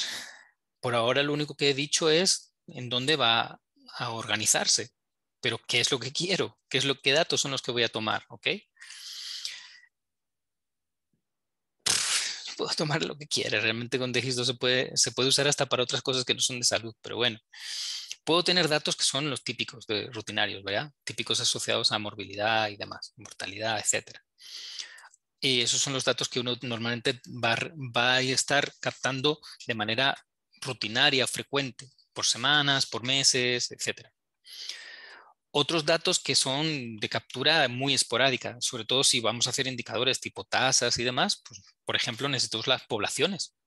Ah, que me interesa saber la, tasa de población eh, a nivel municipal. Ah, bueno, pues alguien tiene que meter el dato de cuántos viven en el, en el municipio. Y si lo quiero desagregado por sexo, voy a tener que poner cuántas mujeres y cuántos hombres de todo el país. Eso no es gratis. Ok, eso es un trabajo enorme y eso alguien lo tiene que hacer. Por eso me interesa que ustedes lo conciban. También hay otros datos que también son de captura eventual, pero que, cambian y es importante que se, contemple esa posibilidad con datos que son de infraestructura, típico camas sensables, em, quirófanos, sobre todo a nivel hospitalario, donde se da más eso. Entonces uno puede tener todos estos tipos de datos ahí adentro, ¿verdad? Ahora vamos a ver qué es lo que vamos a, meter. Em, muy importante que cuando vamos a meter eh, o, clasificar los datos, eh, debemos pensar bien cómo los vamos a llamar. Eh, casi siempre, sobre todo en estos momentos que nosotros vamos a implementar un sistema de información, pues esos datos ya tienen un nombre y todo el mundo maneja el mismo nombre para el mismo concepto, ¿verdad? No estamos inventando el agua tibia aquí. Pero, híjole, si nosotros estamos haciendo un esfuerzo de integrar información, por ejemplo, entre diferentes instituciones, consideremos Seguro Social y Ministerio, ahí sí se pueden dar bastantes broncas, porque el seguro puede denominar algunas cosas de una manera y el Ministerio de otras. Entonces hay que ponerse de acuerdo. Y eso no es fácil, porque cada quien tiene ya muy arraigado su, digamos, su, su nomenclatura. Entonces, pero, pero hay, que, hay que discutirlo y, decidirlo, ¿verdad? Pues no puede tener dos, dos tipos de denominaciones. Eh, pues, hay que pensar que al final de cuentas lo que nosotros vamos a preparar son una serie de formularios para que la gente meta los datos. Entonces es muy importante que lo que estamos pretendiendo que la gente introduzca esté clarísimo, ¿verdad? Por ejemplo, eso que estamos poniendo ahí, cantidad de mujeres embarazadas con primera cita de nación prenatal en el mes actual en, la semana actual, ¿sí? Tiene que venir así, con, ese, con esa precisión. Eh, otra parte eh, importante, ahora que definamos eso que vamos a crear, es que a veces esos nombres son muy largos, entonces hay que tener algunas abreviaturas bien pensadas para que la gente las agarre eh, más fácil, ¿verdad? Eh, a la hora de procesarlas. Entonces, por ejemplo, esta descripción tan grande se puede resumir en atención perinatal, embarazadas con primera cita, por, poner algo, ¿verdad? Y bueno, pues como les digo, al final de cuentas, eh, la descripción y la abreviatura tiene que tener sentido, ¿sí? Para que después nos, funcione. vamos a ponerle con el sistema. ¿ok? Y luego vamos al, número 3. Muy bien. Vamos a poner, lamentablemente todo esto es como empezar un poco de cero, ¿verdad? Eh, pero vale la pena que ustedes lo vean. Nos vamos a ir en este caso, ya vamos a abandonar nuestra unidad organizativa y vamos a irnos a la categoría. ¿Ok? Es probable que ustedes necesiten agregar algunas cosas hasta a las categorías, eh, pero a lo mejor no porque lo que vamos a definir ahora sea suficiente para el programa que ustedes van a crear, ¿verdad?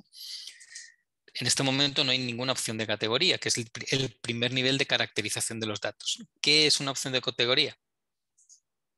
Por ejemplo, masculino. Ok. Y lo guardamos. Vamos a agregar otra femenino. Luego ya, obviamente, vamos a agruparlas en, sexo, ¿verdad? Otro más, intersexual.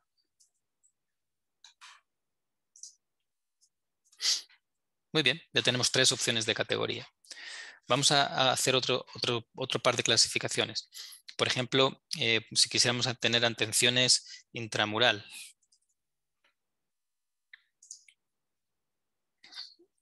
extramural. Alguien tiene que escribir todo esto. Es tedioso. ¿Ok? Lleva su, ratito.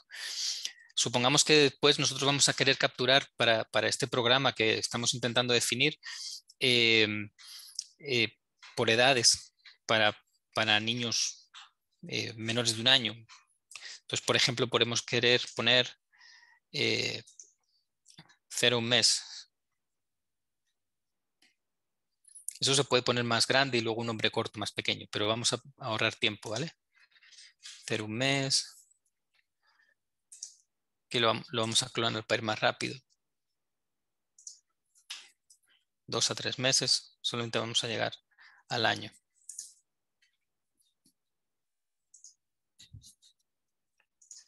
bueno. Cuatro o cinco meses.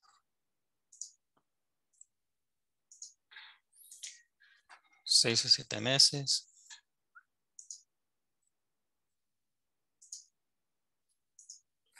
Ocho o nueve meses. Diez y once meses. Con eso ya tenemos a todos los menores de un año de edad. Y para otra cosa del programa me va a servir, por ejemplo, de, para, por, por edad por años. Cero años,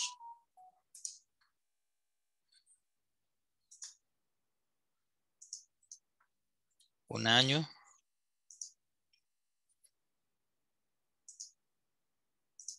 Dos años. Tres años y me falta uno, cuatro años. Menores de cinco años de edad, que también es otra clasificación muy típica para programas infantiles. Listo, ya lo tenemos todo. Muy bien, ya tenemos las opciones de las categorías. En las cuales yo voy a, voy a obtener los datos. Pero ahora yo tengo que agrupar estas opciones en lo que corresponde, ¿verdad? Claro, a uno se le ocurren primero las categorías y luego piensan las opciones, pero no puedes crear una categoría si no tienes opciones previamente establecidas. O, la puedes crear y después agregárselas también, ¿verdad? Muy bien, ¿qué categorías tenemos? Sexo. Y de todas esas opciones, ¿cuáles son las que componen sexo? Extramural femenino intersexual. Las asigno y guardo. Ah, muy importante. Desagregación o atributo. Eso es bien importante porque em, cuando, cuando, cuando se usa tracker, se usa por desagregación. Aquí todos son atributos. Así que sí, acuérdense de ponerle atributo nada más. Extramural agregó este, por error. Uy, sí, mira. Gracias. Totalmente. Thank you, thank you. ¿Qué me falta? Ah, el nombre corto. Listo. Ok, sigamos. Eh, menores de un año.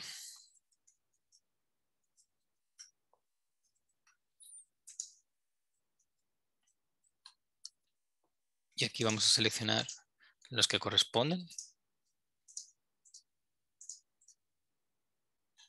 Vamos.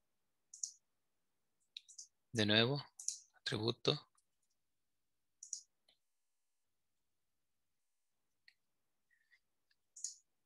Y menores de 5 años, ¿verdad?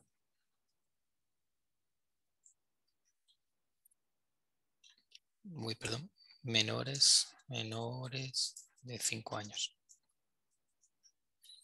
M5A atributo.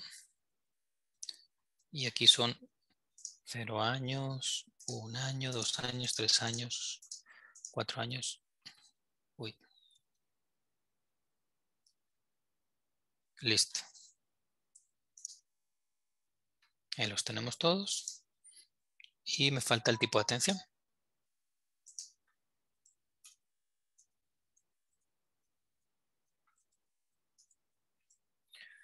que serían intramural y extramural. Listo. Ah, perdón, perdón, atributo. ¿Qué me falta? Bueno, ya cuando, cuando yo quiera utilizar estas, estas categorías, yo las puedo combinar entre ellas, por ejemplo, que me salgan gráficas de sexo y menores de un año, sexo y menores de cinco años, o puedo obtenerlas directamente ellas solitas. Eso se hace en la combinación de categorías, ¿ok? Lo típico es que todas las categorías, toditas, tengan exactamente una solitas. Vamos a poner siempre sexo, ¿ok? Siempre es atributo y le voy a decir que me meta sexo. ¿Ok?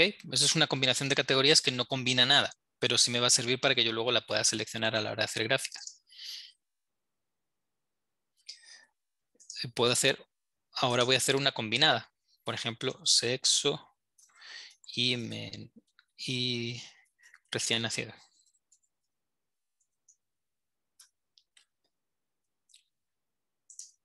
Selecciono las que son de atributo y entonces selecciono sexo y menores de un año. Los guardo. ¿Ok? Entonces, si ustedes para su programa necesitan hacer combinaciones, pensando en cómo quieren ver los datos después, van a tener que agregarlas individualmente o de manera combinada. ¿Ok? Hasta aquí eh, llegamos con la caracterización de esos datos que yo voy a obtener. Me falta definir esos datos.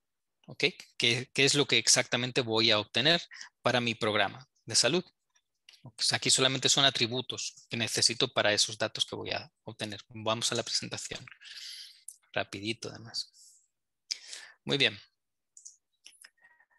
¿Qué necesito saber de mis datos? Pues necesito qué tipo de dato es, cómo lo voy a desagregar en función de eso que acabo de crear. Si yo cuando esté eh, agregando los datos en una tabla dinámica voy a hacer promedios o voy a hacer sumas, si voy a validar de alguna manera esos datos, si tiene, por ejemplo, la edad que sea mayor que cero, por ejemplo, si estuviera capturando la edad, y cómo lo voy a ir agregando en niveles. ¿Ok? ¿Qué elementos de datos voy a incluir dentro de cada uno de ellos? ¿Cada cuánto tiempo voy a recabar esos datos? Ahí vamos a definir si es por semanas, es por meses, por año. Y las validaciones cruzadas que eventualmente puede haber entre los diferentes datos que voy a capturar. ¿Ok? Y por supuesto a nivel se capturan. Yo puedo tener algunos datos que capturo a nivel regional y otros datos que capturo a nivel establecimiento. En este momento, ahora que lo vamos a definir, es donde lo tengo que pensar, ¿ok? Bueno, todavía... Sí, vamos a hacerlo así. Primero, ahora nos vamos a aquí a los elementos de datos. ¿De acuerdo? En este momento no tenemos ningún elemento de datos. ¿Qué es lo que voy a capturar yo para este programa que, estoy pensando? Yo estoy pensando en un programa materno-infantil. ¿Ok? Entonces, voy a, eh, los tengo por aquí escritos, pues no me tengo que escribir mucho. Desnutrición infantil menor de un año.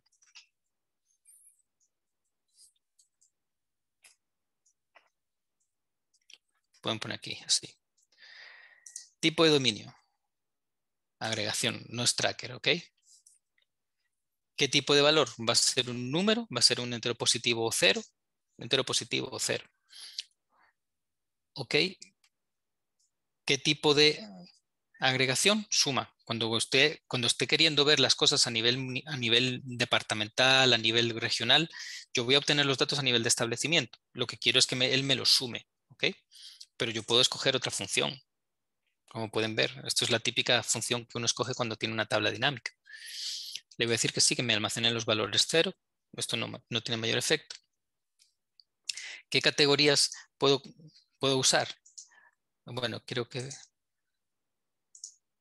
Solo quiero ver una cosa.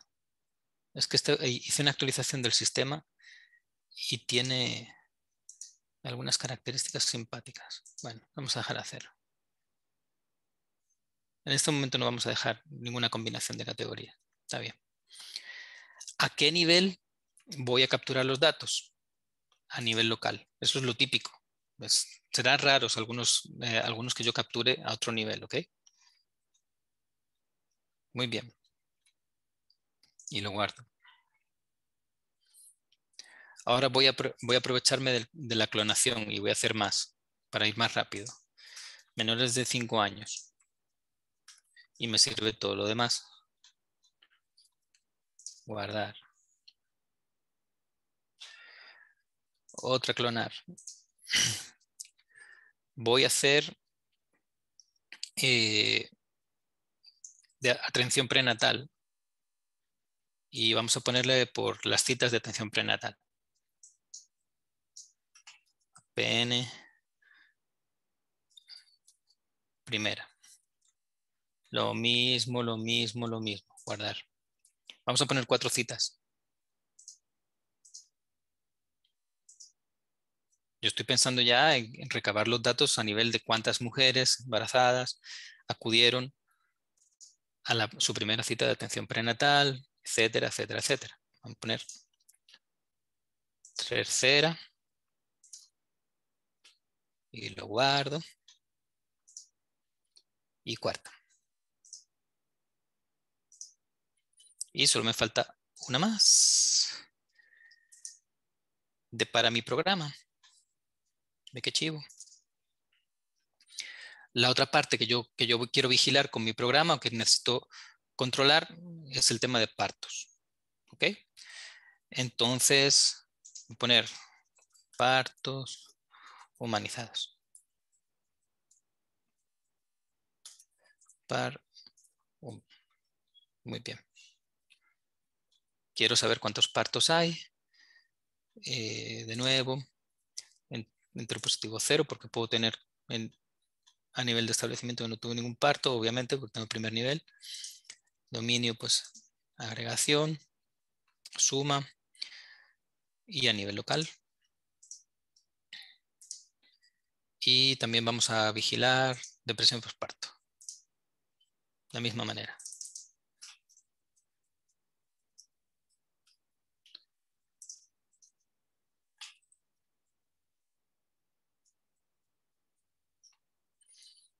Lo mismo lo agrego. Y como algo adicional voy a poner, eh, como yo quiero hacer un indicador, una tasa, voy a intentar recabar también cuál es mi población de mujeres embarazadas, que sería mi denominador a la hora de hacer una tasa. Claro, esto, no esto se dice muy fácil, pero obtener ese dato a nivel municipal o a nivel local está cañón, ¿verdad?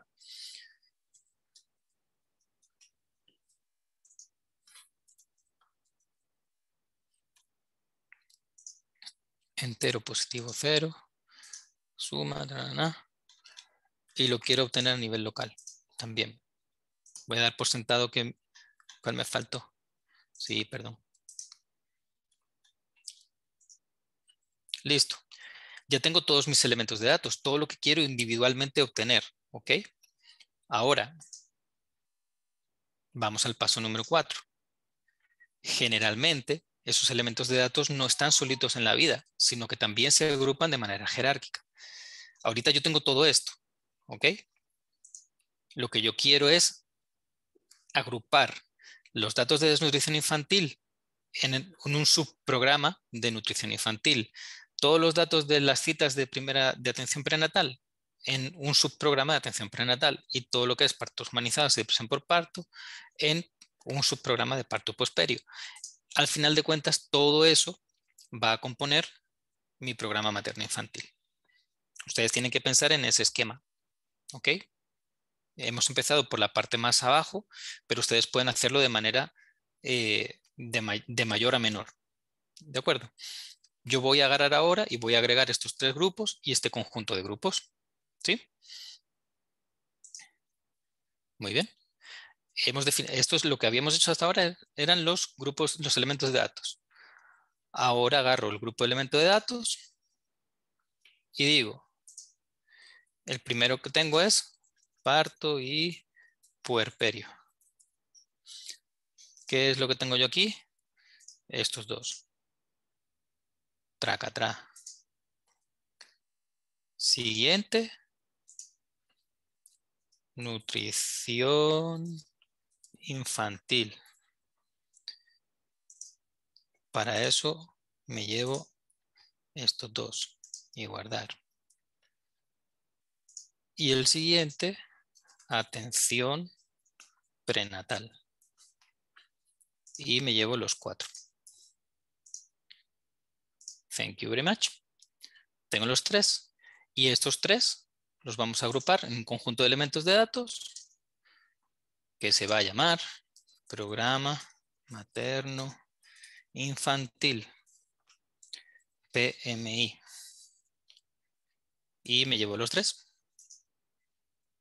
Guarda. Chan. Listo. Ya tenemos todo nuestro programa hecho. ¿Ok?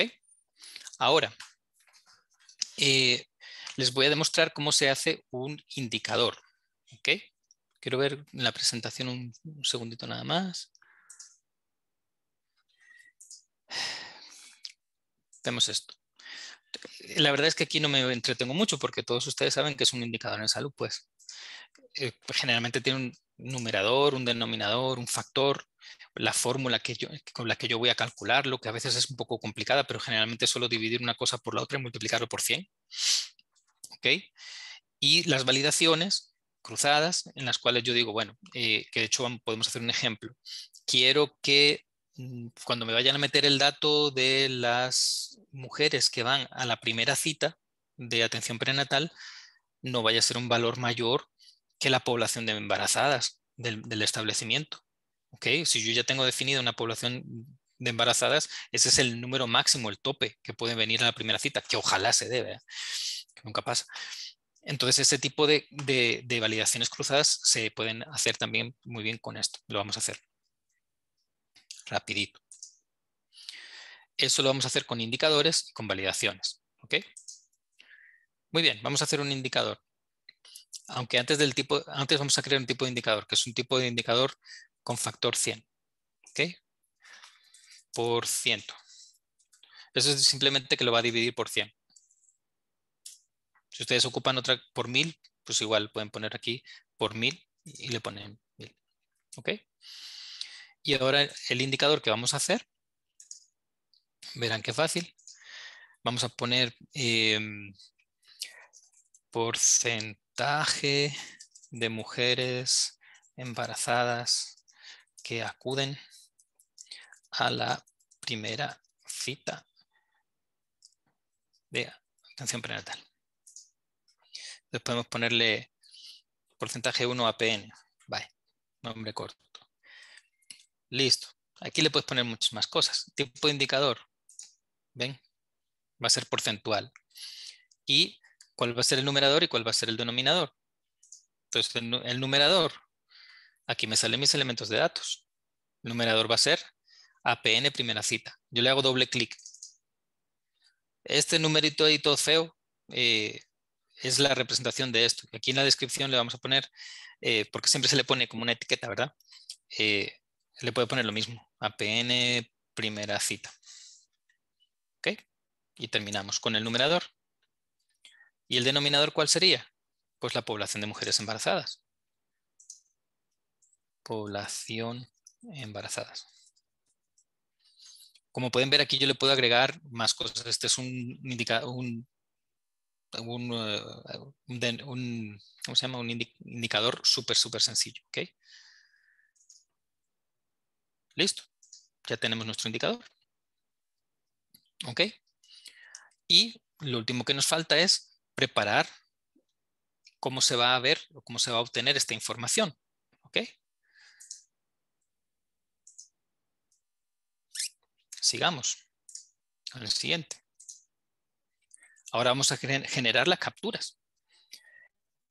Claro, de GIS2 tiene muchas formas de capturar los datos. Nosotros vamos a utilizar formularios web, pero también se puede capturar datos con la aplicación de Android, hasta por SMS. En algunos lugares con que hay muy poca señal celular, pero si llega por lo menos SMS se puede hacer. Se pueden importar directamente.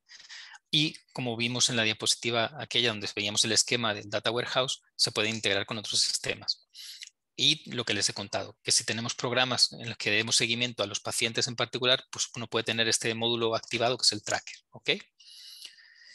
Lo que vamos a hacer ahorita es definir nada más el formulario para obtener la información. No, ni la vamos a usar, solamente para que ustedes vean cómo se define. O sea, no nos vamos a poner a meter datos del programa. ¿ok? Eso lo vamos a hacer en los sets de datos, que es como si fueran nuestros formularios. ¿De acuerdo? Muy bien. Vamos a ver, vamos a agregar un set.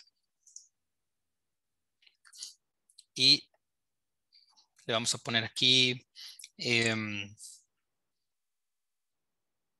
qué sé yo, el programa materno infantil.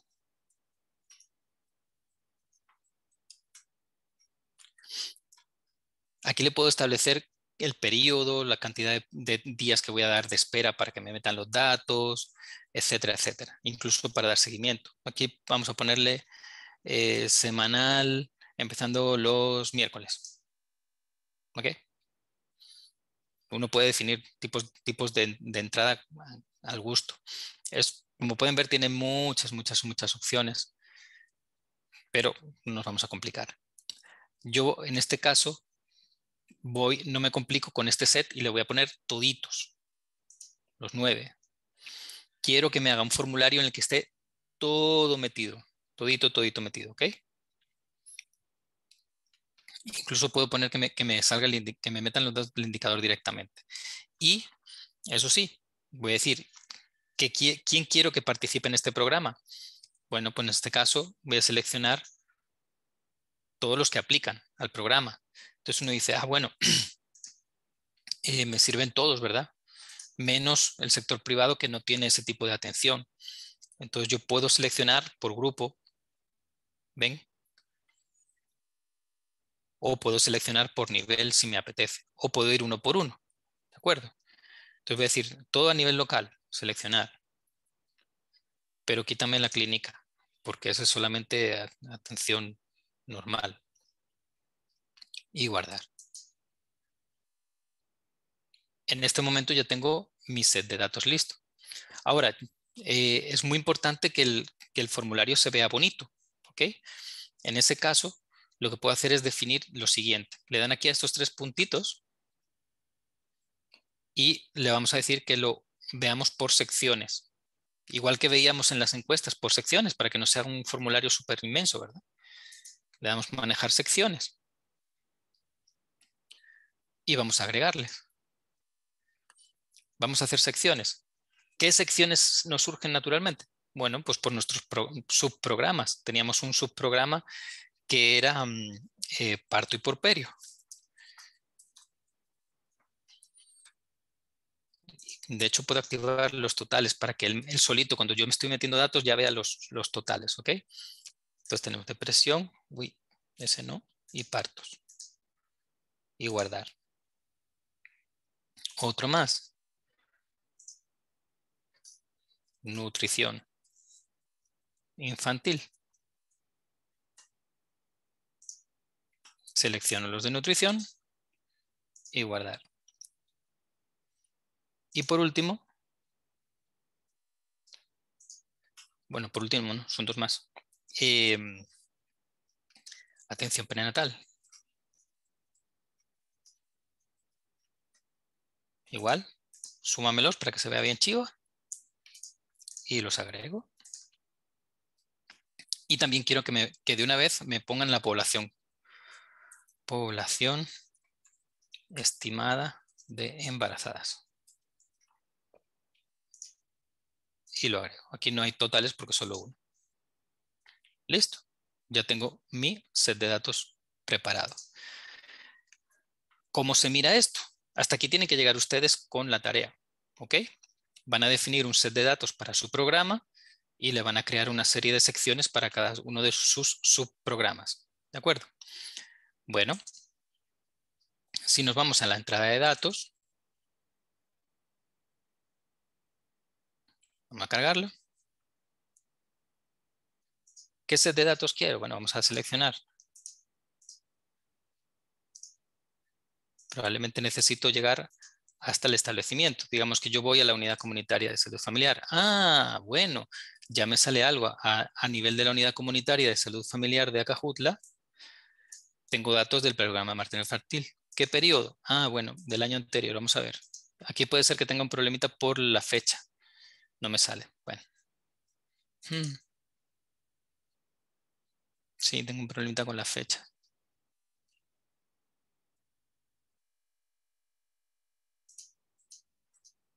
Mm, bueno, la cosa es que, bueno, como ya, no, ya se nos pasó un poco el rato, solo voy a intentar arreglarlo, ¿vale?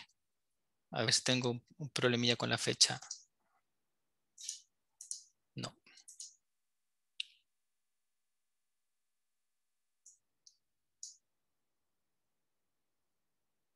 Es que el periodo es en el que no me carga. Un segundito nada más.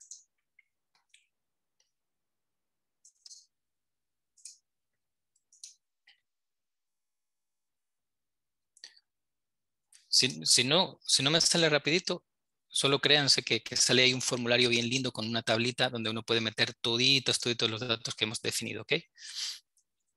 Solo voy a ir aquí a las unidades organizativas. Actualización, ver accidente. En principio está bien.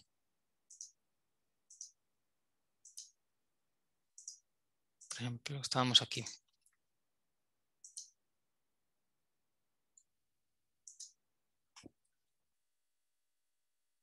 Está bueno. Vamos a ver si, si fuera el periodo del set. A lo mejor no le gustó.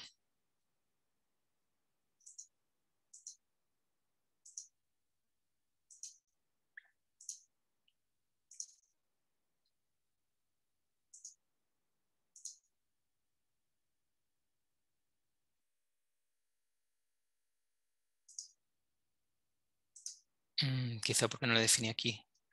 Digamos que quiero de, la semana 1 del año 2022. Ok. Fecha de apertura. Es que esto ha cambiado. Está mucho más chivo. Yo quiero que empecemos a capturar datos desde el 1. Ok. Vaya. Recarguemos.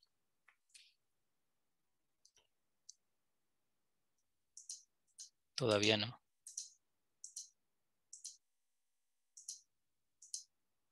No, no me lo carga, pero es por esto.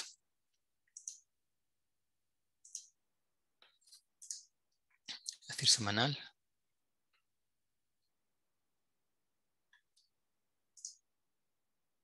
Voy a decir que, que me combine por sexo.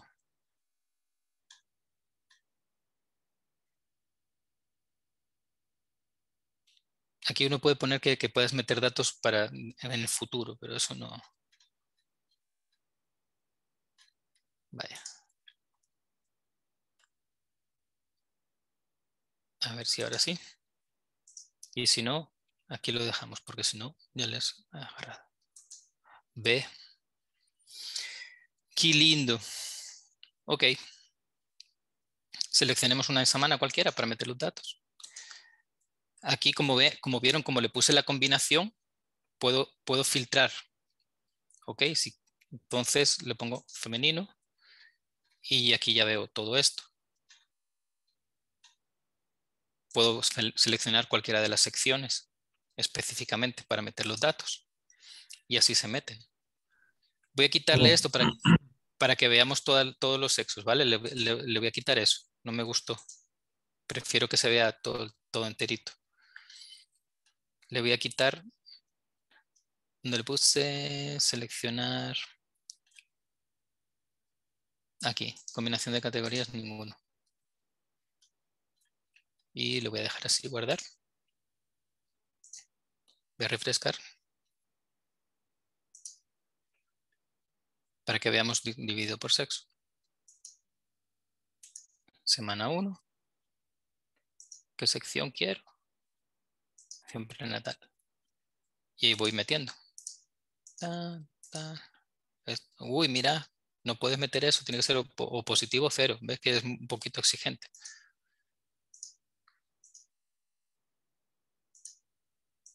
Aquí puede ser que no esté cumpliendo alguna validación. ¿Ok?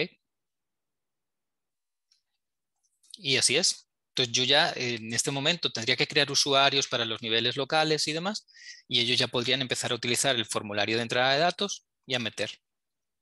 Y luego yo obviamente pues explotaría la información. ¿Dudas? Hasta aquí. Muy bueno muy buena plataforma. Pareciera como que si fuera el CMO a la hora de, rellenando eh, los campos, de que va eligiendo una corte de edad, que si pertenecen al programa de veteranos de guerra, y luego pues, tirar la información. La única, la única y nada baladí diferencia es que el CMO, para hacer un formulario en el CMO, no, usted no se pueden imaginar lo que hay que hacer compañero Ernesto Hernández prácticamente era el único e inigualable capaz de conocer las entrañas del CIMO y cada vez que obviamente todo un tema, ¿verdad? La, cuando estadística decía, no, pues eh, vigilancia sanitaria, tenemos que hacer un nuevo formulario que no sé qué, uy, todo un tema de análisis y demás, porque eso van programados. En cambio, con el de GIS tú no necesitas a alguien de informática para hacer esto. Tampoco es que uno, digamos, pulsando botones vaya y lo logre, ¿verdad? Aquí en este caso, pues nos hemos pasado, ¿qué? Una hora aquí jugando un rato para llegar hasta donde hemos llegado. Pero digamos que con el con The 2 y otras plataformas, porque no es la única, ¿verdad? Eh, uno se la puede jugar eh, con un poquito de conocimiento o entrenamiento como el que estamos haciendo ahorita. Eh, no necesita al superinformático haciendo magia en el servidor para poder tener una captación de datos. ¿Ok? Esa es un poco la pretensión de, la, de, la, de estas dos clases, la de hoy y de la semana que viene. Eh, que ustedes vean que en estos tiempos que corren ya esto uno no puede, se lo puede jugar uno solito, teniendo cierto entrenamiento y, y visión de lo que quiero obtener. ¿Alguna otra preguntilla, algún comentario? Está un poco largo el proceso, ingeniero, pero, pero ya al practicarlo creo que se nos va a ir quedando un poco. Eh, yo he hecho mucho más de lo que ustedes tienen que hacer. Eh, en realidad ustedes tienen que agregar un departamento. Ah, okay. algunos municipios. Por cada uno de los municipios, algunos establecimientos. Y asignarlos a las categorías que ya existen. No tienen por qué inventarse categorías nuevas de establecimientos. Los pueden poner del Ministerio, del Seguro y chao pescado. Y luego de los elementos ¿Hay una cantidad de... establecimientos agrega? ¿Una cantidad de establecimientos? Eh, en la tarea, veámoslo. Ocho establecimientos al menos. Ok. Que tampoco es mucho porque así clonando uno se va a clonar, clonar, clonar, clonar y solo le cambia un par de datos y listo, ¿verdad? Luego del programa, ustedes piensen, háganlo al revés. Yo lo he hecho desde los elementos de datos y finalmente terminé en el programa. Háganlo ustedes al revés. Empiecen en el programa y piensen cómo se va a dividir el programa y qué elementos de datos va a necesitar cada uno de los subprogramas. ¿ok? Entonces necesitamos por lo menos dos grupos de elementos de datos, ¿sí? que serían los subprogramas, y un conjunto de, grupos de datos, que sería subprograma. ¿ok? Y de elementos de datos al menos cuatro, o sea, no son muchos. ¿ok? Yo, yo hice cuatro de APN, dos de puerperio, de parto puerperio y otros, y otros dos de nutrición infantil en un ratito. Así que ustedes solo tienen que hacer cuatro. Y luego el indicador, un indicador básico, siempre porcentual. Metan siempre una, un valor de, o un dato más de población, por ejemplo, y listo. Población de no sé qué. Y ahí sacan el indicador, no más. Eso sí, por favor, esto sí, necesito que ustedes lo, entiendan y me van a disculpar porque generalmente puedo ser muy flexible con el tema de los días de entrega y eso, exceptuando esta tarea. ¿sí? Esta tarea sí tiene una fecha absolutamente límite que es el próximo viernes en la tarde, en la noche. Eh, en la noche me refiero a las 8. ¿Por qué? Porque para poderle sacar el jugo a DX2 montando gráficas y mapas y dashboard y todo lo demás, necesitamos tener datos. Pero meter datos es un trabajo inmenso. Entonces yo no les iba a poner a ustedes de tarea, métanle datos a eso que ustedes acaban de crear, porque se iban a pasar digitando cosas por gusto, sin, sin agregar ningún valor. Entonces, el sábado que viene, yo voy a cargar una base de datos prefabricada de prueba de Sierra Leona, que, tienen los de DX2 de, demo, bien linda, con un montón de programas, con un montón de, de, todo, súper, súper chiva. Entonces, para poder cargar esa base de datos, le tengo que caer encima lo que ustedes hagan ahora con la tarea. Entonces, por eso tiene una fecha límite. Quien no lo pueda lograr de aquí al viernes, híjole, ahí sí no, no, no tengo cómo ayudarle. ¿Ok? Por favor, por favor, no es mucho trabajo, realmente es poquito. Eh, con media hora, ver el, ver el video y reproducir las cosas y media hora, tres cuartos de hora de trabajo, ustedes logran sacar esta tarea sin problema. ¿De acuerdo? Pero si no, esta vez no puedo, mm, por más que yo quisiera, no, no puedo prorrogar. ¿De acuerdo? ¿Sí? Y eso es lo último que les tenía que decir. ¿Alguna duda, algún comentario final? ¿Todo bien? Todo bien, ingeniero. Ya, y Regina va manejando y todo, imagínate. Y dice que sí, que todo bien. Ya aparezco ah. Uber. bueno, cualquier duda, cualquier problema, voy a estar bien pendiente del chat, ¿ok? Todos los días lo voy a ir mirando por si alguien tiene algún problema. Y si, y si necesitamos hacer alguna reunión bilateral con alguien que esté verdaderamente en problemado, con mucho gusto ahí la programamos en, algún día en la noche, ¿sí? por mí no, en ese sentido no hay problema. ¿De acuerdo? Gracias, ingeniero. Con mucho gusto. Y, que les vaya muy bien en la tarea, a ver si les, qué les parece el sistema ya trabajando con él. Muchas gracias. Con gusto. Gracias. Buen provecho. Y buen viaje. Gracias igualmente, ingeniero. Chaito.